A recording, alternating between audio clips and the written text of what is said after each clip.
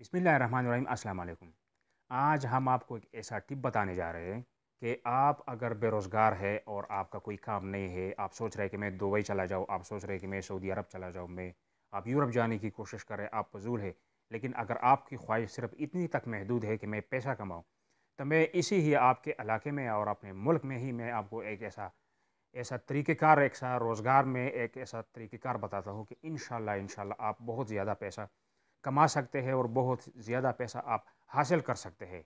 ये कमाने वाला नहीं है, ये हासिल करने वाला है। तो तफसील में जाने से पहले हमारे इस चैनल को अगर आपने सब्सक्राइब नहीं किया तो प्लीज़ सब्सक्राइब कीजिए और बेल आइकान पे ज़रूर क्लिक करें ताकि मज़ीद वीडियोस आप तक मिलते रहे। और अगर सब्सक्राइब नहीं करना है तो प्लीज़ एक लाइक इस वीडियो के लिए ज़रूर कीजिए। तरीक़ेकार यह है कि बहुत से ऐसे तजारती मराकज़ है या कंपनीज़ है या फैक्ट्रीज़ है उनमें से सब जितने भी रोज़गार लोग कर रहे हैं, ये बग़ैर कर्ज़े का नहीं होता। यानी उन्होंने कर्ज़ा देना होता है, दुकानदारों को देना होता है या दूसरे प्रोजेक्ट्स को कर्ज़े देने होते हैं। किसी ने कंस्ट्रक्शन किया हुआ है या किसी ने रोज़गार किया हुआ है। और उन लोगों का जो कर्ज़े है, वो कुछ ऐसे कर्ज़े हैं जो पसे हुए हैं। वो लोग आते नहीं हैं कि इनको कर्ज़ अदा करे या इनका, यानी जो रिलेशन है बिज़नेस का, वो ख़त्म हो चुका है। इन लोगों के पास टाइम नहीं है कि वो जाकर उनसे अपना वसूली ले ले। और ये ऐसी तरह ये कर्ज़ा पड़ा हुआ है। अब इनको एक ऐसा बंदा चाहिए कि वो इसका कर्ज़ जाकर लेके आए।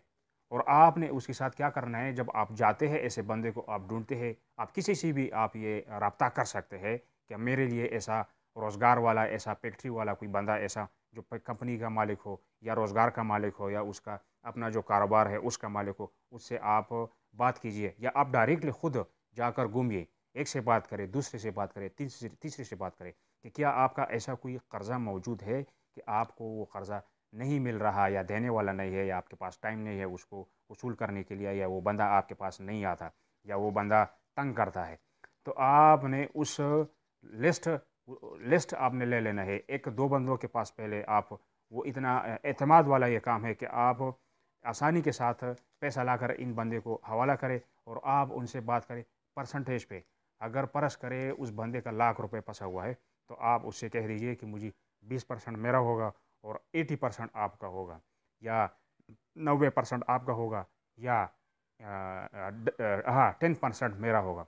और ऐसे ऐसे लोग आपको मिल जाएँगे कि वो तंग आ जाते हैं, वो कहते हैं, यार, आप वसूल करके मुझे आधे, आप रख लो, आप मुझे दे दो। लेकिन इस बंदे से पैसा लेना है। ऐसे बंदी भी आपको मिलेंगे कि मैं आपको प्रूव करता हूँ, आप अपने लिए इस बंदे से ये पैसे वसूल करें, ऐसे बंदे आपको मिल जाएँगे।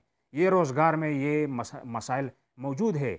हर रोज़गार में छोटा सा छोटा दुकान भी होगा, लेकिन वो उसके पास आप जाकर पूछेंगे तो ज़रूर आपसे कहेगा कि मेरे इतने इतने बंदे के पास इतना पैसा है, लेकिन वो दे नहीं पा रहा। लेकिन मैं आपको बड़े बड़े कंपनीज़ और बड़े बड़े लोगों का इसलिए आपको बता रहा हूँ बड़े बड़े रोज़गारों का, कि वो पैसा होता है लाखों में। और अगर परस करें, आप किसी बंदे का पाँच लाख रुपए निकलवाते हैं, एक महीने में निकलवाते हैं, दो महीने में निकलवाते हैं, और उसको अगर, उसमें अगर आपको बीस परसेंट पैसा मिलता है तो बीस परसेंट पैसे में आपको एक लाख रुपए मिला, पाँच लाख में। दस लाख में आपको दो लाख मिला, और पाँच पाँच लाख में जो है ना, आपको ये हाँ एक लाख रुपए मिलता है। तो ये बहुत एक ज़बरदस्त सोच है, एक मेहनत वाला बात है। अब आप किसी के साथ झगड़ा मत करें। आप बार बार उनके पास जाए। रोज़ाना उनके पास जाए। बेशक वो आपको कुछ भी कहे, लेकिन आपने उनके पास जाना है। आपने शो करना है कि ये बंदा, मैंने इस बंदे के ऊपर पैसा मेरा इसके ऊपर कर्ज़ा है, उसने मुझे आपको हवाला किया हुआ है। या वो बंदा उससे कहे कि भाई ये मेरा सेलमैन है, या ये बंदा मेरा पार्टनर है, मेरा कर्ज़ आप उसको अदा कर दीजिए।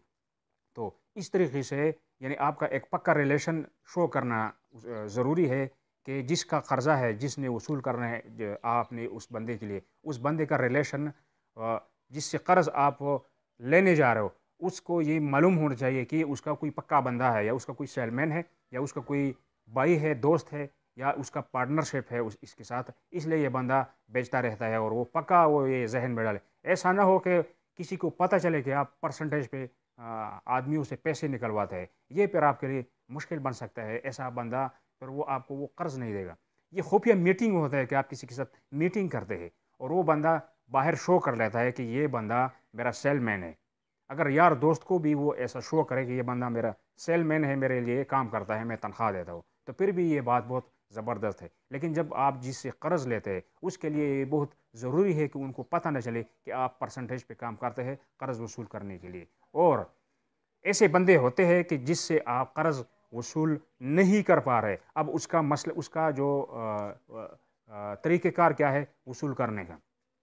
हो सकता है वो कोई बड़ा बदमाश हो हो सकता है वो कोई वडेरा हो, या हो सकता है वो कोई पुलिस वालों का कोई रिश्तेदार हो, उस वजह से वो पैसा ज़म करने की या खाने की कोशिश कर रहा है। तो उसके फिर आखिरी वसूल करने का जो तरीका है, अगर आप पुलिस वाले के पास जाकर बात करते हैं कि मेरा इस बंदे के ऊपर पैसा है, नहीं दे रहा तो वो पुलिस वाला आपसे पैसा लेगा। और आसानी के साथ ये आपका काम करवा सकता है। आप बड़े बंदे के पास जाए, आम पुलिस वाला नहीं अगर छोटा कर्जे वाला है तो छोटे पुलिस वाले से बात करें। बड़ा कर्जे वाला है तो बड़े बंदे से बात करना पड़ेगा। उससे बड़ा कर्जे वाला है, पैसा ज़्यादा है तो आपको कोई बड़े बंदे से एस एच ओ और डी सी वगैरह से आप खुफिया बात करके ये कह देना है कि इस बंदे से ये पैसा है, वसूल करना है, कुछ आप ले लो, कुछ हमें दे दो। और इसका जो आखिरी ऑप्शन मैं आपको बता रहा हूँ इसका पहले मालिक से मशवरा करना है। तरीका यही है, भाग दौड़ मैं करूँगा और इस तरीके से ये पैसा वसूल होगा, दूसरा कोई तरीका नहीं है। और परस करें, अगर आप ये ये केस अदालत में चला जाता है या इसमें केसेस और वगैरह आदमी उसमें बढ़ जाता है तो उससे बचने के लिए फिर एक और तरीका है। और वो तरीका ये है कि हर बदमाश से बड़ा बदमाश मौजूद होता है। हर बड़े वडेरे से बड़ा वडेरा मौजूद होता है। तो आप दूसरे आदमी के ज़रिए से आप ये काम करवा सकते हैं कि उस बंदे को आप लालच दीजिए कि इस बंदे से ये पैसा लेना है और आप, आपका इसमें इतना मैं अदा कर दूँगा। तो फिर यही आखिरी ऑप्शन है कि आप दूसरी ताकतवर शख्स से उसका पैसा बंदे का आप वसूल करके अपना परसेंटेज भी हासिल कर सकते हैं। और ये तरीका जब आप एक बंदे के लिए करेंगे, दूसरे बंदे के लिए करेंगे, तीसरी बंदे के लिए करेंगे, एतमाद वाला काम है। ये ऐसा अतमाद वाला काम है कि आपको बड़े से बड़े रोज़गार में या बड़े प्रोजेक्ट्स में या आपको बड़ी कंपनीज़ में अगर आ, लोगों को पता चलता है कि ये बंदा ऐसा ज़बरदस्त तरीक़ेकार इसके पास या एक फ़न इसके पास मौजूद है तो आपको किसी की कंपनी में या किसी के बड़े रोज़गार में एक बहुत अच्छा एक सीट मिल सकता है एक अच्छा काम मिल सकता है एक अच्छा परसेंटेज पे या तनख्वाह पे या जिस तरह भी हो या रोज़गार आपको कोई बंदा हवाला कर सकता है कि भाई मेरा ये काम आप कर दीजिए। अगर इसमें आप कामयाब हो जाते हैं और आप लोगों से कर्ज़ वसूल कर सकते हैं। प्लीज़ अगर आप लोगों ने मेरे चैनल को सब्सक्राइब नहीं किया तो प्लीज़ एक लाइक इस वीडियो की खातिर ज़रूर कीजिए। खुदा हाफिज़।